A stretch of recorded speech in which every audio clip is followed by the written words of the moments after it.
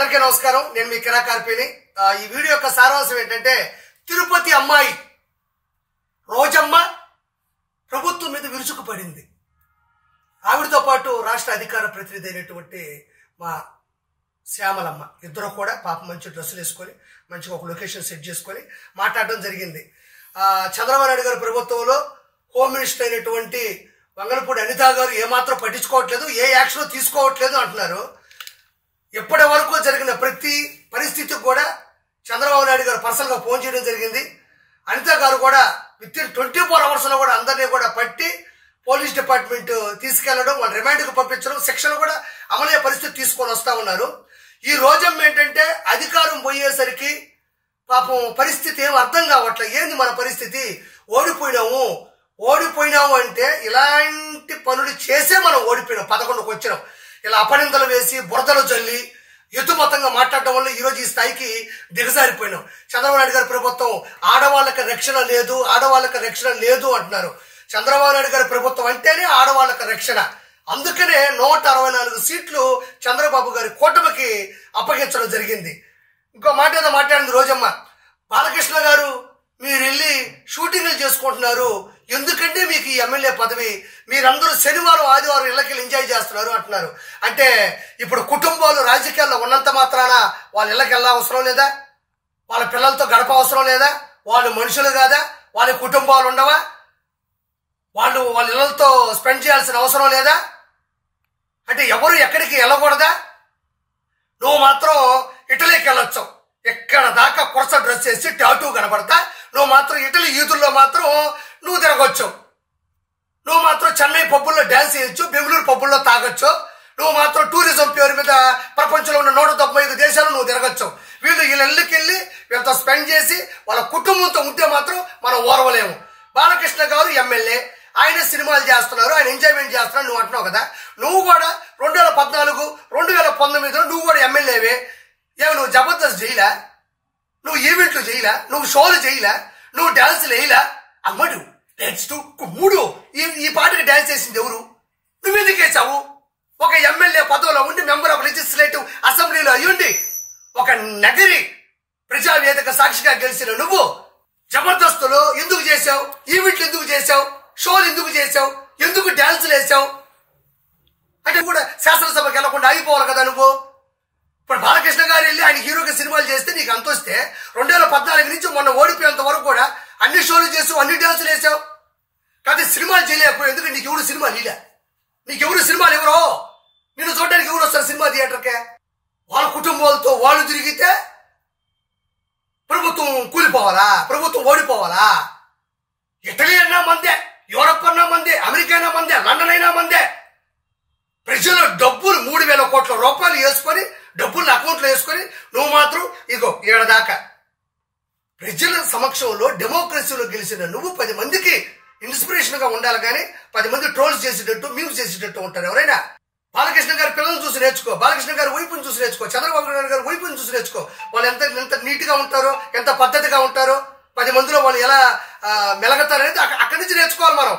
మనం ఒకరిని మాట్లాడకూడదు ఒకరితో మాట్లాడకూడదు. నేరస్తులకి చంద్రబాబు నాయుడు గారి హయాంలో నేరస్తులకి శిక్ష పడలేదంటాం అసలు నేరస్తులు అంటేనే వైఎస్ఆర్సీపీలో ఉండేవాళ్ళు.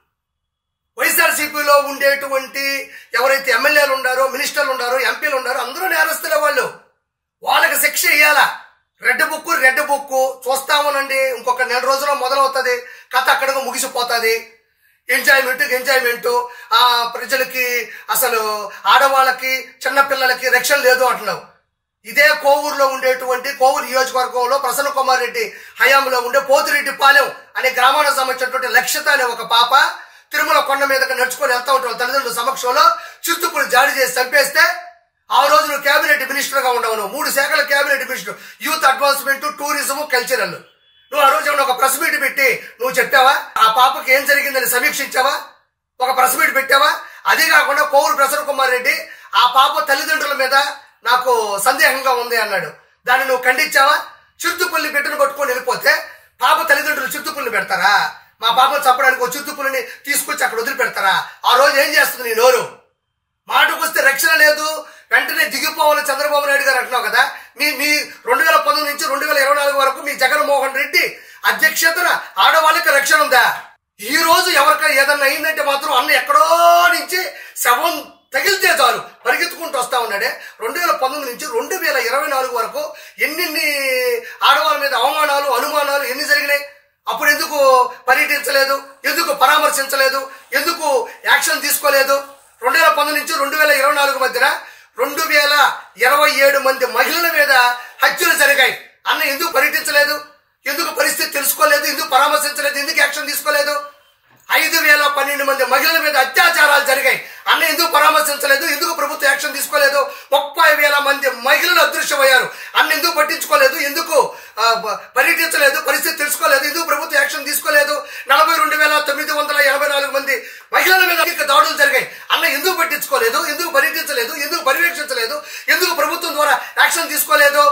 ఎనిమిది వేల నాలుగు వందల అరవై ఒక్క చిన్నారుల మీద నేరాలు జరిగాయి. అన్న ఎందుకు పర్యటించలేదు? ఎందుకు పర్యవేక్షించలేదు? ఎందుకు పట్టించుకోలేదు అన్న ఎందుకు యాక్షన్ తీసుకోలేదు మూడు వేల ముప్పై రెండు మంది చిన్నారుల మీద అత్యాచారాలు జరిగాయి అన్న ఎందుకు పట్టించుకోలేదు ఎందుకు పర్యటించలేదు ఎందుకు ప్రభుత్వం యాక్షన్ తీసుకోలేదు రెండు వేల ఎనిమిది వందల యాభై మంది మహిళలు మేము కిడ్నాప్ అయ్యారు అన్న ఎందుకు పట్టించుకోలేదు ఎందుకు పరామర్శించలేదు ఎందుకు యాక్షన్ తీసుకోలేదు దీనికి సూటిగా నువ్వు సమాధానం చెప్పగలవా ఆ రోజు పట్టించుకొని అన్న ఈ రోజు ఎందుకు పరిగెత్తుకుంటా వస్తా ఉన్నాడు ఎందుకు అవసరమా మళ్ళీ అదీ కాక చిన్నపిల్లలు అత్యాచారం ఏమైనా హాస్పిటల్లో ఉంటే వాళ్ళ బంధువులను ఏమైనా పరామర్శించడానికి వెళ్ళినప్పుడు ఆయన ఆయన సాటి అధికారులు మాత్రం లోపలికి వెళ్ళాలా? బాధపడాలా? ఏదో హామీ ఇవ్వాలా? డబ్బులు ఇస్తాను చెప్పి రావాలా? వీళ్ళందరూ ఏంది గుంపు? నీకు అక్కడ కూడా సీఎం సీఎం అని అరవాలా? మీ నేను చెప్తున్నా ఈరోజు ప్రజల సాక్షిగా జీవితంలో జగన్మోహన్ రెడ్డి సీఎం అవ్వలేడు లోపలికి వెళ్ళేటప్పుడు ఆ పాప తల్లిదండ్రుల్లో వాళ్ళలో పరామర్శించేటప్పుడు అక్కడికి వెళ్ళినప్పుడు నువ్వు వెళ్ళాలా? నీతో సంబంధించిన కొన్ని అధికారులు నీకు సంబంధించినటువంటి సలహాదారులు వెళ్ళాలా? ఈ గుంపంతా ఎందుకు వస్తుంది? సీఎం సీఎం అని ఎందుకు అరెస్తుంటారు మరి ఇన్ని జరిగినప్పుడు రాని అన్న ఇప్పుడు ఎందుకు పొలోమని పరిగెత్తుకుంటా వస్తా ఉన్నాడు? ఎందుకంటే అధికారం పోయేసరికి అన్నకి ఏం అర్థం కావడం వల్ల ఏంద్ర మన పరిస్థితి ఈరోజు రోజు? దాకా నూట యాభై ఒక్క సీట్లు ఉన్నాయి ఒకసారిగా మనం ఏంది టైప్ అయ్యోమయ పరిస్థితిలో ఉన్నాడు. ఎందుకంటే ఈ ఈ ఈ డెకాయిట్ పనులు చేయడం వల్లే కదా మనం ఓడిపోయింది. మరి ఈ రోజు మాత్రం అన్న సమక్షంలో ఆడవాళ్ళకి ఎలా జరిగింది? అన్న సమక్షంలో ఆడవాళ్ళ మీద గొప్ప ఉండేటివి అని చెప్తున్నావే. మరి ఎందుకు అన్న సరిగ్గా చేస్తే ఆడవాళ్ళు మహిళలు ఈ గృహిణులు ఈ సాధారణమైనటువంటి స్త్రీలు కూడా అన్నకి ఎందుకు ఓటీ లేదు? అన్నని ఎందుకు ఓడగొట్టారు? కాబట్టి రోజమ్మ మీరు రాష్ట్ర అధికార ప్రతినిధిగా పనిచేస్తున్నారు. మీకు నేను చెప్పేది ఒకటే. మన బతుకులేంటో మనం తెలుసుకోవాలి ఎదుటి విమర్శించేటప్పుడు. కాబట్టి మీరు ఏదైనా మాట్లాడేటప్పుడు వెనక ముందు చూసుకొని మాట్లాడండి. మనం కూడా డ్యాన్సులు వేసాం జబర్దస్త్ షోలు చేసాం ఈవెంట్లు చేసాం. మనం కూడా ఇట్లేలో తిరిగాం ట్యాటూలు కనబడేటట్టు. మనం కూడా బెంగళూరు పబ్బులో డ్యాన్సులు వేసి. ప్రత్యక్షమైనటువంటి సాక్ష్యాలు కూడా ఉన్నాయి. మనం అక్కడ పరామర్శించేటప్పుడు విమర్శించేటప్పుడు జాగ్రత్తగా అన్ని చూసుకొని మాట్లాడాలా. కాబట్టి ఇకనైనా మాట్లాడేటప్పుడు సభ్య దిశలో మాట్లాడండి. సంసార పక్షంగా మాట్లాడమని మనస్ఫూర్తిగా కోరుకుంటూ నేను కిరా కార్పిణి